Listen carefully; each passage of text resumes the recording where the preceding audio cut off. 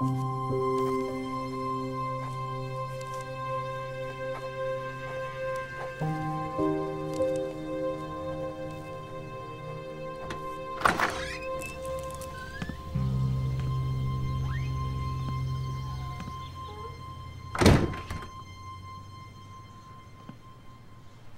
going on? Hey, hey, hey. They. I thought you were at work. Something told me to come home. Answer the question. Please go. What? You're taking a holiday, vacation? After six months of marriage, am I really that hard to be with? Michael, spit it out. You're scaring me. There's someone. I'm sorry. I, sorry, I left a note. I've just been feeling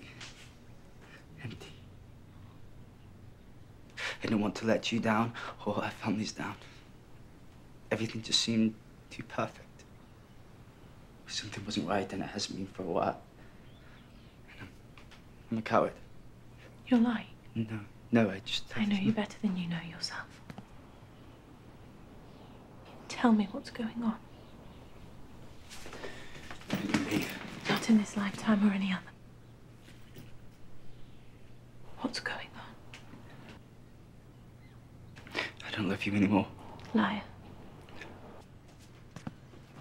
I know you better than you know yourself from the inside out. Now take a breath. And tell me what's going on.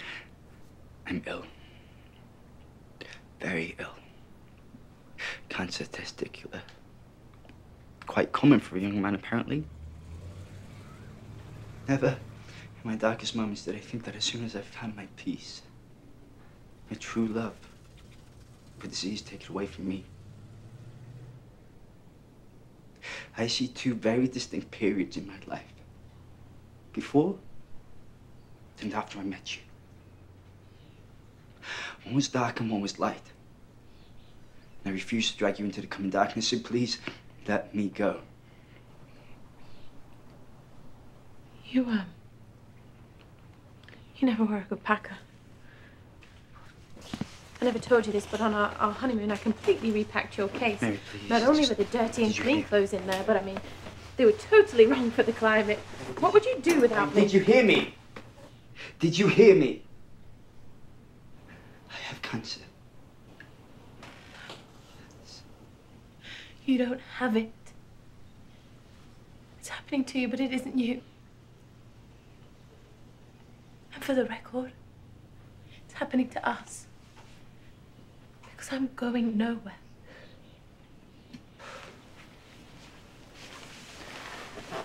We're young. We're young. Your future should not include this. It should include puppies and having adventures. Arguing about ridiculous things and having make-up sex. Lying in bed and taking in each other's breath all night long. Not doctors' needles puking, helping me to the toilet and watching me slowly die. Stop. Stop right there. You're going to live. Do you hear me? There's not a single fiber in my body that doesn't believe that. I will not put you through this. I love you too much. So if you cared about me one bit, you would go. And if you cared about me at all, you'd let me be here.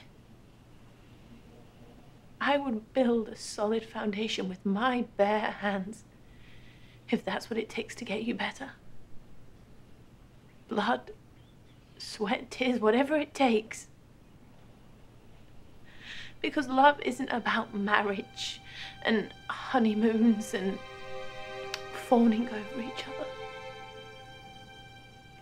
Sometimes it's shit and dark and hard. Together we can get through anything. The doctor said it was stage two. That means I don't that care about the facts.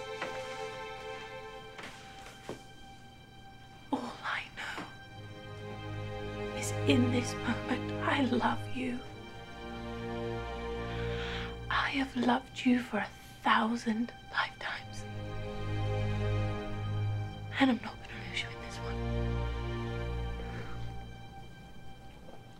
I love you.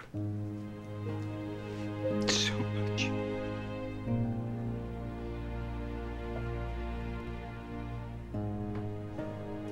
Pull yourself together.